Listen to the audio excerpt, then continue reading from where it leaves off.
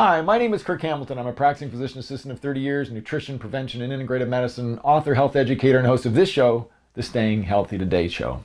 Today's show topic is migraine headaches. Let's stop them.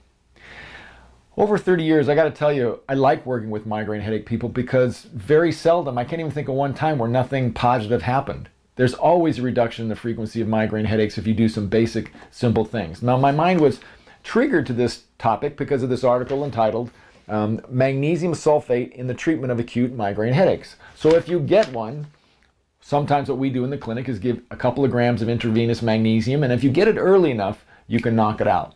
But I'd like to give you a simple protocol of how to approach migraine headaches. Number one is you've got to eat whole unprocessed foods, but it has to be a low allergy diet. So if you know there's some food triggers, obviously get them out. But I would eat off my basic elimination diet for one month.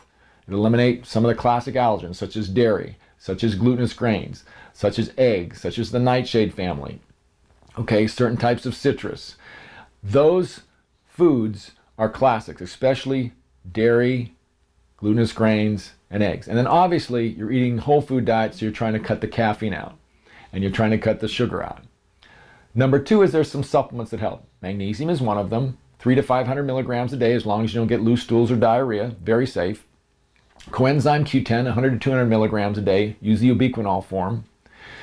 Um, riboflavin has been used in high dose. Now, sometimes I use a high dose B complex B100, but it's at 400 milligrams per day of riboflavin that has been used.